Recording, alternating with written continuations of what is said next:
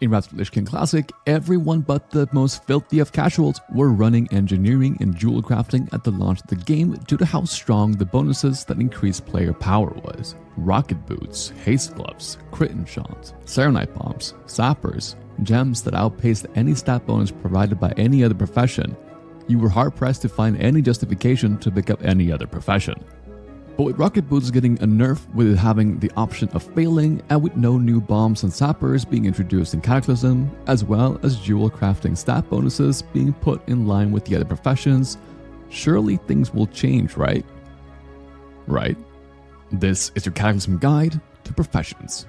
Let's start out with what you want to avoid picking up, and that will be the gathering professions. Sure, at the start of Cataclysm, herbing and mining will undoubtedly make you a lot of money, it'll be a terrible option to maximize your character power. Skinning gets a passive bonus of 80 crit, which isn't really useful on any class. Mining gives you a passive bonus of 120 stamina, which is okay for tanks and is in line with some of the other professions, but it offers zero flexibility if you want to swap over to DPS, and if it's pure stamina you're after, there are better options.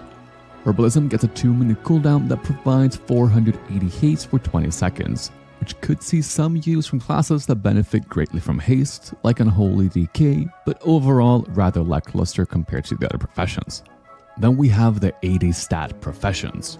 All of these professions offer 80 primary stats in one way or another if you're DPS or a healer, and 120 stamina if you're a tank. Enchanting gives you 40 stat enchant on ring. Inscription gives you shoulder enchant that gives you 80 more primary stats than the reputation option. Alchemy gives you Mixology, which doubles the duration of your flask and gives it an 80 stat bonus while the flask is active. Further, you also get an unlimited 80 stat flask to use while you're not using a regular flask. Alchemy also have access to some of the best 359 item level trinkets in the early game, which will make it onto the previous list for most people, including myself as a Blood DK. The three professions that deviate a bit from the 80 stat bonus will be blacksmithing, jewel crafting, and leatherworking. Blacksmithing has the same bonus from Wrath of the Lich King, meaning that you get access to two extra gem slots. As gems until Dragon Soul has 40 primary stats each, this means you'll get an extra 80 stats from blacksmithing. However, gems are not limited to primary stats, and as such, if you're a class that scales heavily from a secondary stat, like Mastery, that means you can opt to gem for that stat instead, giving you much greater flexibility. This is the case too for jewel crafting that gets their bonus from increased power gems like in Wrath. And just like in Wrath, since you have access to three unique gems giving you an odd number of stats, jewel crafting turns out to be slightly more stats than the other professions. They get 81 as opposed to 80. Jewel crafting also has the same flexibility bonus as blacksmithing does, being able to prioritize stats like mastery or haste over a primary stat. Jewel crafting also got access to 346 item level trinkets, which will be great options for heading into heroics early on. Leatherworking, like all other professions, get an 80 stat bonus with the profession through a wrist enchant. However, since there are no new stamina enchants on Cataclysm Bracers, if you are a tank wanting to opt for stamina instead of mastery, then leatherworking is where you'll be getting the most bang for your buck. Leatherworking will give you a bonus of 155 stamina over the 120 stamina of other professions. You'll also get access to the appropriate leg enchant for free, which is a nice added bonus. And then there are the outlier professions, tailoring and engineering. Tailoring doesn't get the same 80 stat bonus as the other professions. Rather, it gets access to a cloak enchant like you did in Wrath. The bonus gives you either 580 intellect or 1000 attack power for 15 seconds when it procs. If you average out the proc, it gives similar values as the other professions, but since we are absolute gamers, lining up the proc and combining it with other cooldowns and trinkets will give you much more value than the static 80 stats would. Tailoring, like leatherworking, also get access to the appropriate leg enchant for free.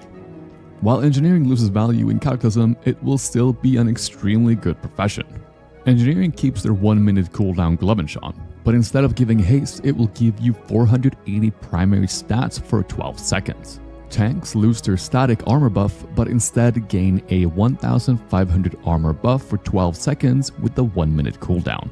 Engineering also gives you a belt enchant, which gives you an absorption shield, invisibility, or the trusted old rocket boots. Keep in mind though that these tinkers can fail. If the shield fails, it AoE taunts the mobs around you, which is not a big deal if you're a tank, but it will kill you as a DPS. The Nitro Boost have a chance of failing unlike in Wrath, making them highly unreliable. If it fails, it gives you a ticking debuff that hits you for a lot.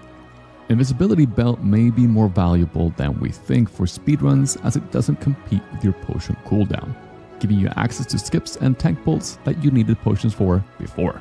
We also get slow fall on cloak without the crit bonus, and none of the tinkers, not even the glove enchant, competes with other enchants on your gear, meaning you can have both your tinker and a regular enchant on your gear. Early on, engineering will also have access to 359 item level goggles, which will be your pre-raid best in slot for every single class. This is because you can actively choose what stats you want to put on your helmet through the use of cogwheels. Ultimately, I do not see profession choices being that much different from Wrath. Most people will gain the most value from engineering, and then the second option will be between tailoring, jewel crafting, and blacksmithing. Keep in mind that jewel crafting drops off in value during Dragon Soul when we have access to the epic gems and blacksmithing becomes stronger. So unless you really want that bonus 1 stat for the first few tiers, I would go for blacksmithing as your second profession if you're not going tailoring. Keep in mind that during launch there will be some opportunities for some variants as long as you're willing to swap professions during the expansion.